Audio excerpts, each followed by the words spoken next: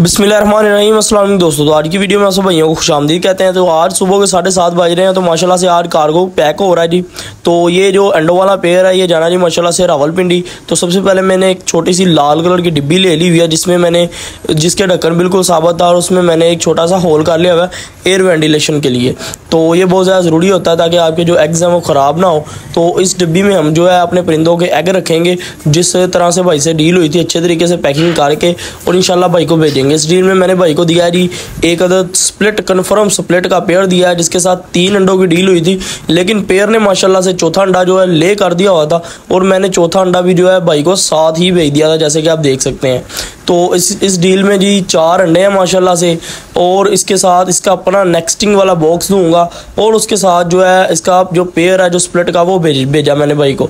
तो ये आप देख सकते हैं जी, जैसे कि मैंने अंडों तो अंडों को हमने जो है आपस में जोड़ के नहीं रखा, लेकिन डिफरेंट वाई में रखा है ताकि एक दूसरे के साथ टकरा के अंडे टूट ना जाएँ। तो जैसे कि आप देख सकते हैं जी अंडों को, उसके बाद मैंने जो है इन अंडों के ऊपर मैंने थोड़ा थोड़ा बुरा डाल दिया हल्के हल्के रख के नरम सा।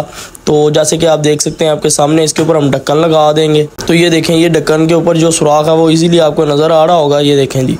तो इसके बाद जो हम अपना जो पेयर है, उसको पकड़ते हैं। लेकिन उससे पहले हमने जो है फटकी में लाजमी दाना डालना है। जैसे कि लाहौर से रावलपिंडी का काफ़ी सफ़र बन जाता है। तकरीबन चार, तीन, चार, पाँच घंटों का सफ़र बन जाता है।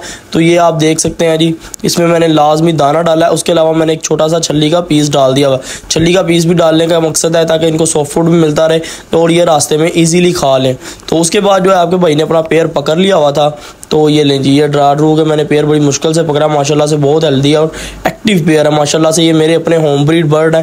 होम ब्रीड इसको रिंग भी डले हुए हैं। ये देखें जी, सरदार बर्ड एवरी के रिंग डले हुए हैं। क्लोज रिंग में ये माशाल्लाह से बर्ड थे। साइज़ क्वालिटी आप चेक कर सकते हैं आपके सामने है। तो ये बहुत ही अच्छे जम्बो साइज़ में बर्ड हैं। तो ये आ गया जिसकी ये इसकी फ़ीमेल आ गई हुई है। ये देखें जी माशाला से इसका रंगा नंबर भी भाई को दिखा दिया हुआ तो ये लें ये भी जा रहा है जी अपनी कार्गो गेज में।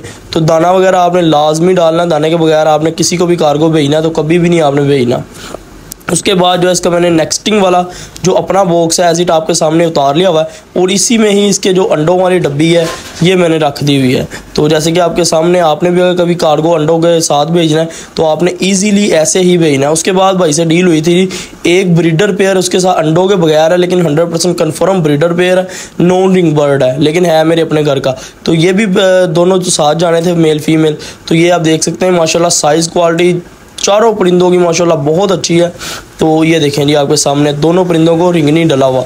और जो स्प्लिट के पीस थे, दोनों को रिंग डला हुआ है। तो ये डील माशाल्लाह से जा रही है डील रावल पिंडी अल्लाह ताला भाई के कारोबार में, भाई के शौक में मजीद बरकतें था फरमाए। इन पेड़ से भाई को ज़्यादा ज़्यादा फ़ायदा और ज़्यादा ज़्यादा ब्रीड है। जजाक अल्लाह बखैर, मिलते हैं इन नेक्स्ट वीडियो में। उतने के लिए अपने भाई को दीजिएगा इजाज़त। उतने के लिए अल्लाह हाफिज़।